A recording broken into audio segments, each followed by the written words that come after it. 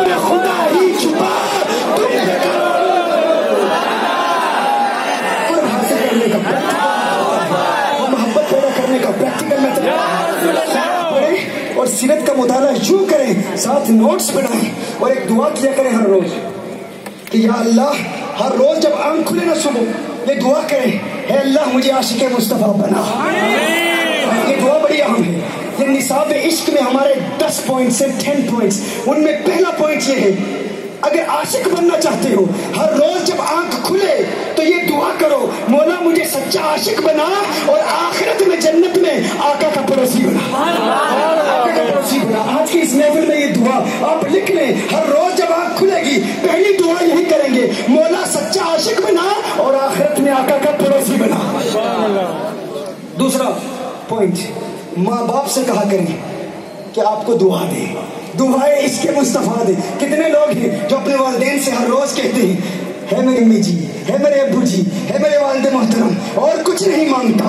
ساری زندگی آپ کی خدمت کروں گا۔ ایک تمنا ہے، ہر روز ایک مرتبہ یہ کہہ دیا کریں، اے اللہ میرے بیٹے کو عاشق مصطفیٰ بنا۔ اے اللہ میرے بیٹے کو جنت میں محمد عربی کا پڑوسی یہ والدین کے پاس جا کے ہر روز انتظار کیا کریں۔ کیونکہ اس پر ہمارے صوفیاء کا کلام ہے، ہمارے اولیاء کا کلام ہے۔ نصاب العشق میں کہتے ہیں کہ ماضی کے انبیاء کی امتوں کے لیے ان کی ماں کی دعائیں قبول ہوا کرتی تھی۔ موسیٰ علیہ السلام نے ایک مرتبہ اللہ سے پوچھا تھا، اے اللہ، جنت میں میرا رفیق کون ہوگا؟ یاد رکھیے، یہ عاشق کی تمنا ہونی چاہیے۔ اللہ آف ینگ پیپل دے دس بہت سارے نوجوان کہتے ہیں، تم کہتے ہو حضور سے محبت کرو، تم کہتے ہو ڈرگ سے بچو، تم کہتے ہو شراب سے بچو، تم کہتے ہو پورنوگرافی سے بچو، تم کہتے ہو حرام سے بچو، تم کہتے ہو گناہوں سے بچو، ہم بچنا تو چاہتے ہیں، لیکن ہمارے خیالات ایسے ہو چکے ہیں، یہ معاشرہ ایسا ہے، یہاں بچنا پاسبل نہیں ہے، تم کہتے ہو حضور سے محبت کرو، کیسے محبت کریں، ہم علماء کو خوش کرنے کے لیے کہہ تو دیتے ہیں ہمیں حضور سے پیار ہے، لیکن ہم دل سے جانتے ہیں، وہ عرب ہیں، ہم ہندی ہیں، وہ عرب ہیں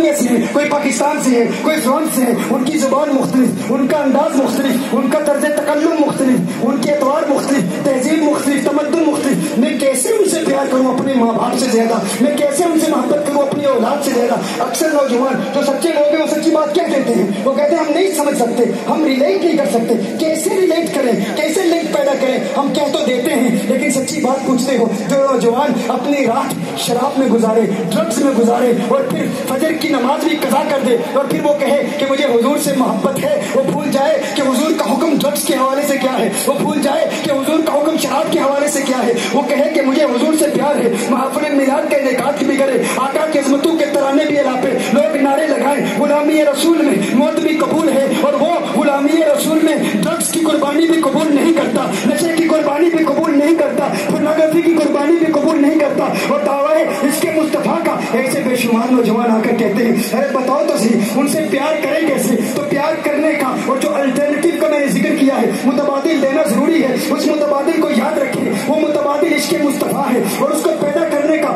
پریکٹیکل میتھڈ کیا ہے؟ اس پریکٹیکل میتھڈ میں پہلا نقطہ بتایا دعائیں اس کے مصطفیٰ، دوسرا نقطہ سیرت کا مطالعہ، اس انداز میں مطالعہ کے ساتھ نوٹس بناتے رہیں اور your life should revolve around the lot of رسول اللہ صلی اللہ علیہ وسلم جو entire life should revolve around رسول اللہ صلی اللہ علیہ وسلم آپ کی تمام زندگی، حضور کی زندگی کے گرد گردش کر رہی ہو۔ ایسے تخیلات ہوں، ایسے خیالات ہوں، نوٹس یوں بنائیں کہ اس دنیا میں نہیں، آخرت میں بھی۔ میں حضور کے قریب رہنے کوشش کروں گا التجائیں کروں گا تمنائیں کروں گا، اللہ کی بارگاہ میں التجا کروں گا اور اپنے والدین سے بھی کہوں گا اور سیرت کا جب مطالعہ کریں نوٹس بناتے رہیں اور ان نوٹس پر غور کرتے رہیں، پھر تو موت سے بھی پیار ہو جائے گا۔ موت سے بھی پیار ہو جائے گا کہ میں تو موت کو سینے سے لگاتا اسی لیے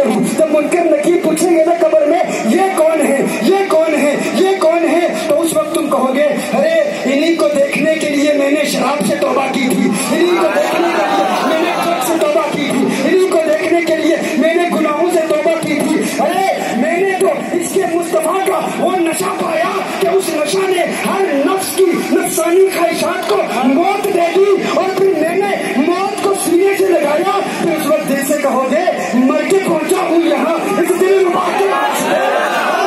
میں اسی کے لیے ہوں تاکہ ان کا دیدار ہو جائے۔ ان کا اس وقت انسان کی یہ کیفیات کیسے بنتی ہے؟ جب زندگی میں، اس دنیا میں تمہارا تخیل حضور کی ذات کی طرف رہے، تمہارا تصور حضور کی ذات کی طرف رہے۔ سیرت کا مطالعہ کرو، حضور کے بارے میں سوچتے رہو کہ جنت میں سیرت کے ان واقعات کو ذات مصطفیٰ سے ڈسکس کروں گا اور آقا سے تفصیل پوچھا کروں گا۔ اور یاد رکھنا جنت میں آقا کا پیار ہر امتی کے لیے یکساں ہوگا۔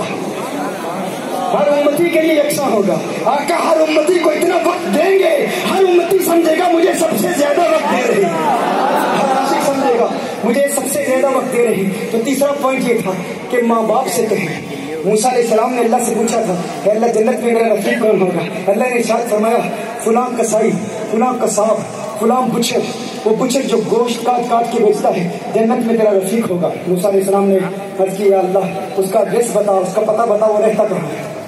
اللہ نے ارشاد فرمایا، فلاں جگہ پر دکان ہے اس کی۔ موسیٰ علیہ السلام اس کی دکان پر جاتے ہیں۔ دیکھتے ہیں وہ کر کیا رہا ہے۔ پورا دن وہ گوشت کاٹتا ہے، گوشت بیچتا ہے، گوشت کاٹ کر بیچ کر گھر جاتا ہے موسیٰ علیہ السلام اس کا تعاقب کرتے ہیں اس کے پیچھے جاتے ہیں جب وہ گھر جاتا ہے کمرے میں داخل ہوتا ہے موسیٰ علیہ السلام کہتے ہیں میں بھی آ جاؤں وہ کہتا ہے اللہ کے بندے آ جائے وہ جب گھر کے اندر جاتا ہے گوشت کاٹتا ہے کھانا پکاتا ہے موسیٰ علیہ السلام دیکھتے ہیں کہ اس کے کمرے میں ایک انتہائی نہیں ایک کمزور عورت لیٹی ہوئی ہے ایک بوڑھی عورت لیٹی ہوئی ہے وہ کھانا پکاتا ہے خود نہیں کھاتا بڑے لاڈ سے بڑے پیار سے اس بڑھیا کو اٹھاتا ہے اسے بٹھاتا ہے اس کے منہ میں نوالے ڈالتا ہے اسے کھانا کھلاتا ہے اسے پانی پلاتا ہے، اس کا منہ صاف کرتا ہے۔ جب اسے لٹاتا ہے، جب وہ لیٹ رہی ہوتی ہے نا، تو اس کے منہ سے چند کلمات نکلتے ہیں۔ وہ کچھ کہتی ہے، وہ کچھ کہتی ہے۔ موسیٰ علیہ السلام غور سے دیکھ رہے ہیں۔ سن رہے ہیں، وہ کیا کہہ رہی ہے؟ موسیٰ علیہ السلام پوچھتے ہیں، ہے اللہ کے بندے، یہ کون ہے؟ اس نے کہا، یہ میری ماں ہے۔ کہا، میں پورا دن گوشت بیچتا ہوں، گوشت کاٹتا ہوں۔ لیکن ہوتا دکان میں ہوں، لیکن خیال بھی گھر گھر کی طرف ہوتا ہے کہ کب ماں سے ملاقات کروں گا، کب ماں کے قریب جاؤں گا۔ میں ماں کے پاس آتا ہوں، خود کھانا نہیں کھاتا پہلے اسے کھانا کھلاتا ہوں، اس کی خدمت کرتا ہوں۔ موسیٰ علیہ السلام نے کہا، وہ تو میں بھی دیکھ رہا ہوں، لیکن جب یہ لیٹ نہیں تھی تو اس نے کچھ کہا۔ اس نے کیا کہا؟ اس نے کیا کہا؟ اس نے کہا، اللہ کے بندے، تجھے کیا بتاؤں؟ تجھے کیا بتاؤں؟ یہ مائیں تو مائیں ہی ہوتی ہیں نا۔ یہ ماں اپنے بیٹے کو بہت کچھ سمجھتی ہے۔ ماں نہیں جانتی بیٹے کی حیثیت کیا ہے۔ ماں نہیں جانتی بیٹے کی وقت کیا ہے۔ بیٹے کا مقام کیا ہے؟ ارے، میں تو ایک کسائی کا بیٹا ہوں، لیکن یہ میری نادان ماں، جب بھی میں اس کی تو دیتی ہے۔ اللہ تیری اس خدمت کو قبول کرے اور آخرت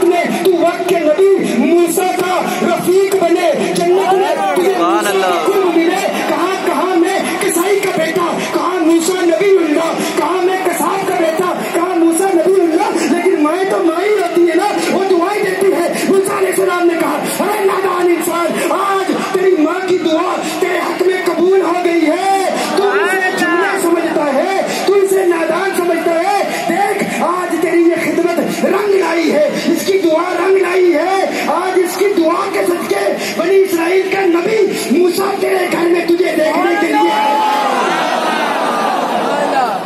ماں سے کہا کریں، اے ماں، اگر بنی اسرائیل کے، موسیٰ علیہ السلام کے، دور کے امتی کو ماں کی دعا کے صدقے جنت میں موسیٰ کی رفاقت مل سکتی ہے، تو آقا کے امتی کو جنت میں آقا کا قرب کیوں نہیں مل سکتا؟ تو ماں کی خدمت کر کے تو دیکھ۔ ماں سے کہ اے ماں مجھے دعا دے کہ میں سچا عاشق مصطفیٰ بن جاؤں۔ یہ تھرڈ پوائنٹ ہے۔ ہمارے اس پر ٹین پوائنٹس ہیں۔ اس پر انشاءاللہ آئندہ کرام ہوگا۔ آج صرف آپ کو یہ بتا دیں گناہوں سے اور بالخصوص یو کے میں جو ہمارا ایک پریکٹیکل میتھڈ ہے، نشے سے بچنے کا، لوگوں کو بچانے کا۔ اب ٹائم کتنا ہے بچنے کا پریکٹیکل میتھڈ میں آپ چار پوائنٹس یاد کریں۔ اس طرح میں نے گرام میں کہا۔ کہ آیات اور حدیث پیش کرنے میں بہت وقت لگ جائے گا۔ صرف آپ چار پوائنٹس یاد کریں کسی بھی نشے سے بچنے کے لیے سب سے پہلے ہمیں اپنے نفس سے لوامہ کو زندہ کرنا پڑے گا۔ ہمارے اندر دو فورسز ہیں۔ ایک نفس ہمارا ہے، ایک نفس لوامہ ہے۔ جب سب سے پہلے اپنے شراب کو دیکھا ڈرگس کو دیکھا، تو ایک آواز آئی اندر سے کہ تمہیں یہ ڈرگ لے لینے چاہیے۔ You should take the drugs you should smoke the drugs you should drink alcohol ایک دوسری آواز آئی جس نے کہا نہیں شراب نہیں پینا اس پر عذاب ہوگا تمہارا رب ناراض ہوگا جو آواز کہتی ہے شراب پیو ڈرگز لو گناہ کرو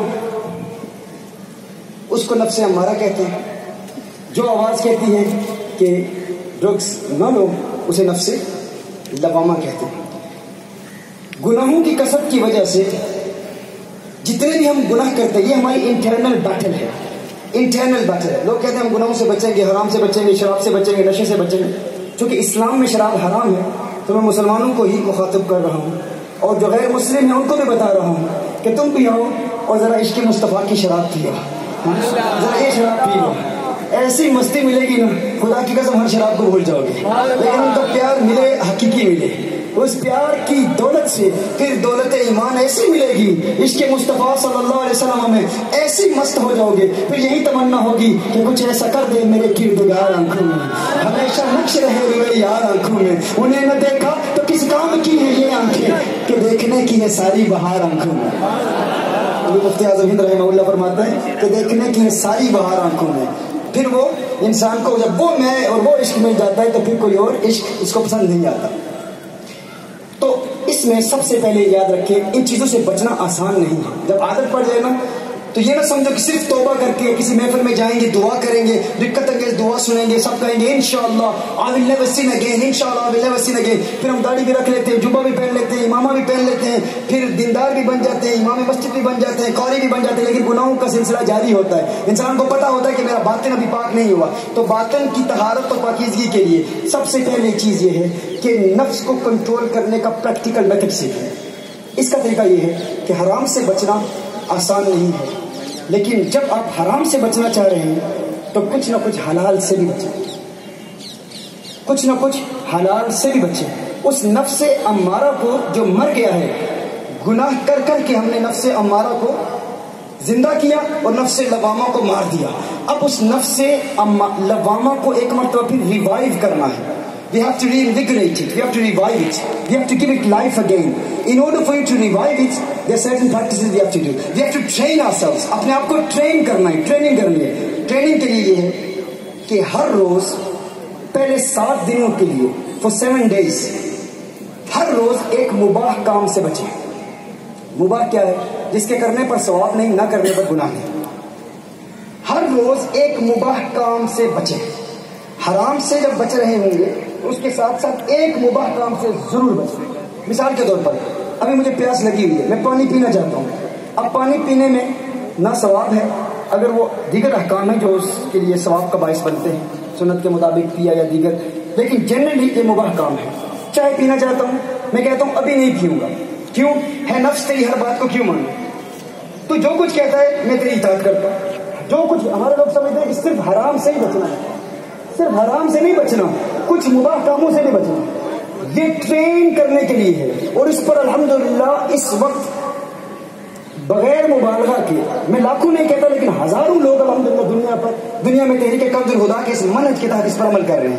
اور اس کا رنگ پھر آپ دیکھ بھی رہے ہیں کہ وہ لوگ جو زندگی بھر کوشش کرتے رہے، وہاں پر یو کے میں تو ڈرگس کے خاتمے کے لیے بہت کام ہو رہا ہے، لیکن یہ صوفیانہ کام ایسا ہے۔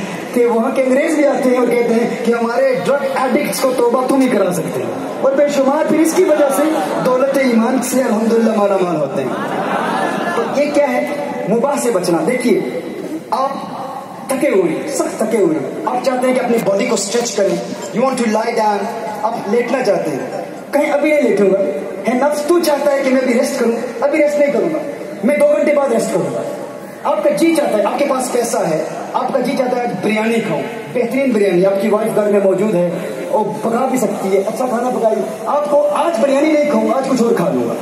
ہر روز اچھا آپ گھر سے باہر جانا چاہتے ہیں، اپنے فرینڈس کے ساتھ آؤٹنگ پر جانا چاہتے ہیں۔ آپ کے فرینڈس آپ کے دروازے پر دستک دیتے ہو کہتے ہیں، او باہر چلے let's go out for a آپ جانتے ہیں باہر جانا حلال کاموں کے لیے جائز ہے، لیکن آپ کہتے ہیں، آج نہیں جاؤں گا، کیونکہ میرا نفس کہہ رہا ہے، آج میں نے نفس کی کچھ نہ کچھ مخالفت کرنی ہر روز ایک کام ایسا کریں جو مباح ہو اور اس سے بچیں یہ سات دنوں کے لیے، سات پہلے ہفتے کے لیے۔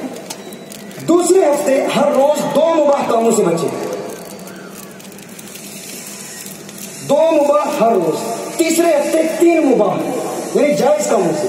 چوتھے ہفتے چار مباح کاموں سے بچیں پانچویں ہفتے پانچ گنا مباح کاموں سے بچیں چھٹے ہفتے چھ مباح کاموں سے بچیں جب چھ ہفتے گزر جائیں گے، ہر روز چونکہ ہم نے اپنے نفس کو اتنا آزاد چھوڑا ہوا ہے، جو کہتا ہے ہم کرتے ہیں۔